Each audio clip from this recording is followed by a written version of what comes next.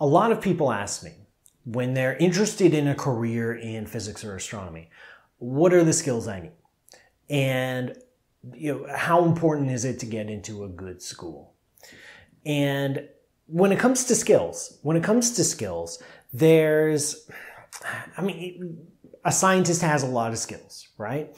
A scientist needs to uh, have analytic skills, mathematical skills. Uh, a scientist needs uh, to be able to communicate, to write papers, to write emails, to work with colleagues, to be willing to travel. Uh, there, there's all these other skills associated with being a scientist.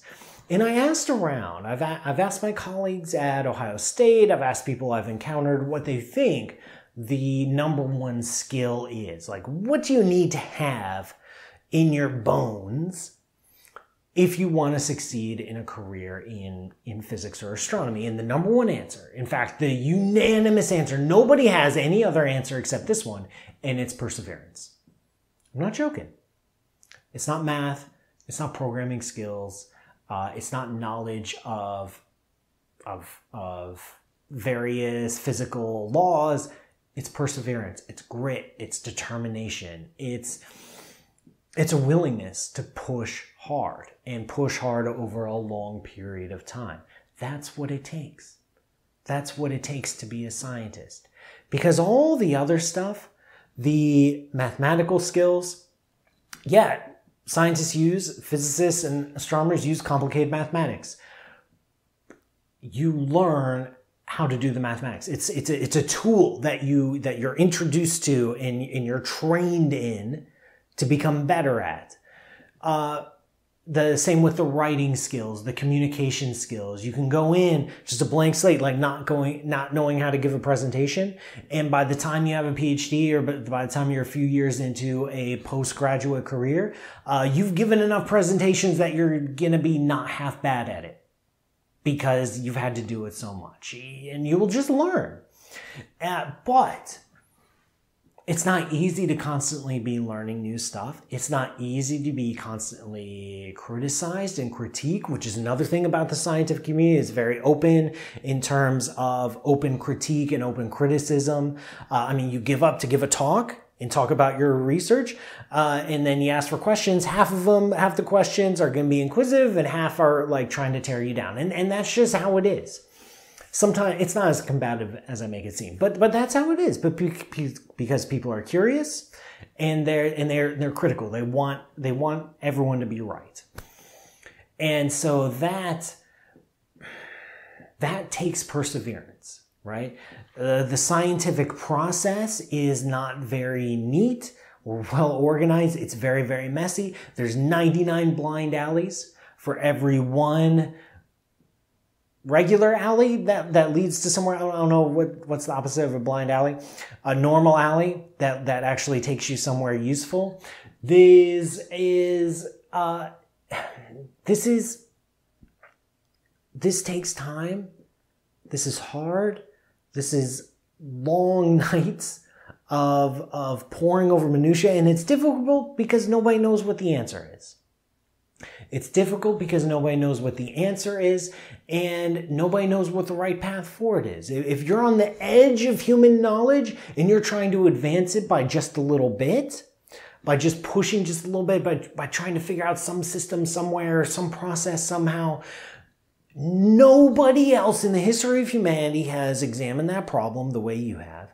Nobody else in the history of humanity or anywhere in the world knows what the right answer is. And so, yeah, it's going to be kind of challenging.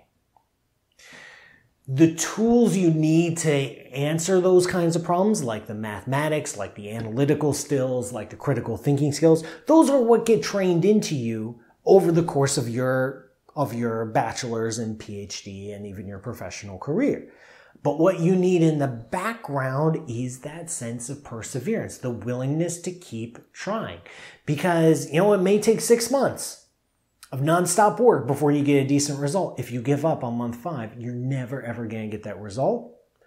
The scientific community is never going to learn about it. And the boundaries of human knowledge will not expand if you give up. So you have to push forward. So that's what I try to tell young people is, don't be scared of the mathematics. If you don't, if you feel like you're not the best mathematician in the world, that's fine. I personally don't consider myself the best mathematician in the world by far. And yet I have a, a niche in academic research where I can apply the skills I do have. So don't worry too much about the mathematics. Don't worry about the mountain of knowledge that, you know, the past few hundred years of scientific inquiry have amassed You'll get there, you'll learn what's relevant, what's important for your particular focus, and focus on having grit and having determination and willing to work through difficult problems for a long period of time because that dedication will carry you so much farther. And this is especially the case in, in, in the, it's important to remember that you're never alone in this journey, that going from a high school graduate to a PhD is at least 10 years, probably more like 12 to 15 years. And you're not alone in that process.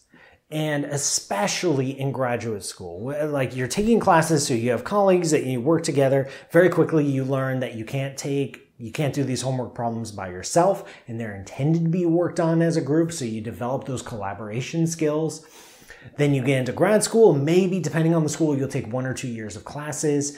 Uh, and then the rest, the most of the big chunk of grad school is more like a job a job where you work for your advisor and your advisor plays such a critical role in your development in your scientific training. Because your advisor is going to be uh, first off you pick a problem you pick a research problem that uh, your advisor's interested in and you're interested in. So right there you have to pick a, uh, an intersection of your interests for a problem to focus on remember your advisor doesn't know the answer either. So you're going to get up and talk to your advisor at a meeting and share your results and how you got them and your advisor will start asking your questions. And i remember the first time this happened i'm like whoa wait my advisor is super smart. Why is he asking me questions about this? And it took a few times for this to click in i'm kind of a slow learner that oh my advisor is asking me these questions about how i did it because he's never seen it before and I figured it out, not him. He, he guided me and set it up and he's like, okay, Paul, go, go, go figure it out and report back in a couple weeks. And then when I figured out, he wanted to know how I did it. Cause we're, we're on the edge of human knowledge and nobody knows what the answer is. So it's, it, it, it moves from being a, uh, like a teacher student relationship into a colleague relationship. Remember, your advisor is co-authoring papers with you. Your advisor is going with you to conferences or, or helping you prepare presentations. They're your number one defender, your, your number one, uh, your number one colleague. And it's your advisor who's responsible for training you in all the nuances in scientific research. So you'll learn all the background, physics and astronomy in your coursework, but that won't bring you up to speed with the very latest of your particular discipline. It's up to your advisor to work with you so you start to get a better picture of where the field is at right now so that you can start making advances. And it's your advisor that, that trains you how to write a paper, how to read a paper, how to give a presentation, how to listen to a presentation, how to ask intelligent questions, how to see nuances, how to interpret data, uh, you know, how to how to uh, critique other results, uh, how to how to work with colleagues halfway around the world in a different time zone. It's your advisor that's shaping that, and that that relationship lasts like half a decade so it's a very special kind of relationship that has existed the whole time there's been a science, hundreds of years. And I don't think this kind of relationship exists, at least not in this form, in other disciplines, in other fields, where there's this mentor-mentee relationship that evolves into a more colleague-like relationship. Yeah, senior colleague and junior colleague, but still colleague type relationship. And it's there, it's through your advisor, through your mentor that you pick up the other skills other than the analytic skills and the mathematical skills and the base scientific knowledge to actually be a professional scientist. And that's pretty cool. It's pretty unique, and and that's just a part of the process. That's why it takes so long because this scientific training process is a very long-term process. It's a very slow process, and it's a very personal process. And I think that's that's pretty cool. It's pretty cool. It's pretty unique, and, and pretty wonderful about the scientific uh, institution.